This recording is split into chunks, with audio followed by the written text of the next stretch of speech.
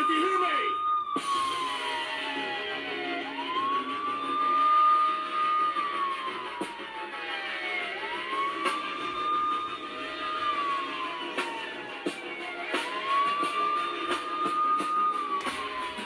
Super J Mad Mike walking into another kick-ass video.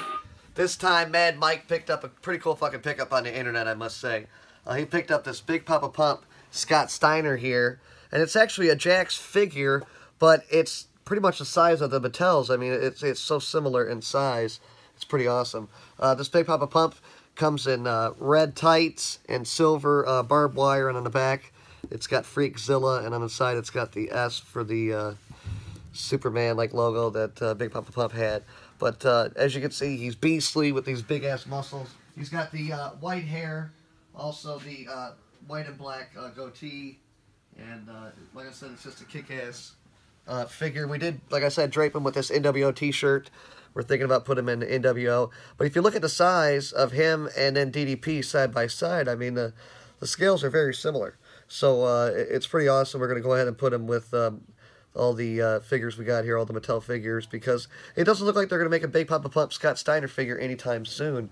You know, apparently he's got, uh, you know, bad, uh, you know, he's burned his bridge in the WWE, I guess, and he's always talking trash about him with lawsuits and whatnot. But anyway, Big Papa Pump, one great wrestler. He started out as a tag team with his brother Rick back in uh, the 80s, and uh, WCW, and even made his way to WWE for about a year uh, in 1993 and uh, him and Scott were actually the tag team champions.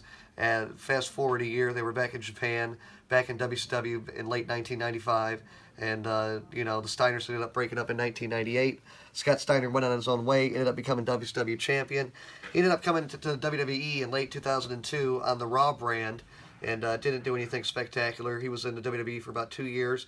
Didn't perform at a WrestleMania, but uh, he was always a, a great wrestler uh, and one big crazy motherfucker.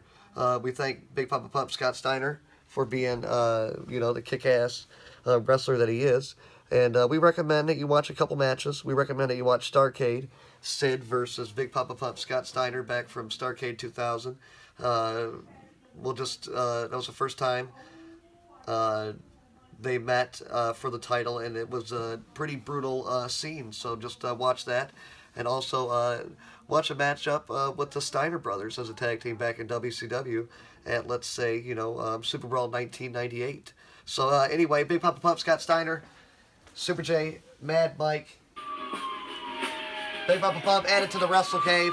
Check out more videos of WWE wrestling figure unboxings, pretty cool action figure pickups, a lot of cool action figure matches with Mattel figures. Anyway, this is the coolest place to be. If you're a WWE wrestling super fan, fucking subscribe, hit the like button, tell us what you guys think. Peace out. See you guys next time.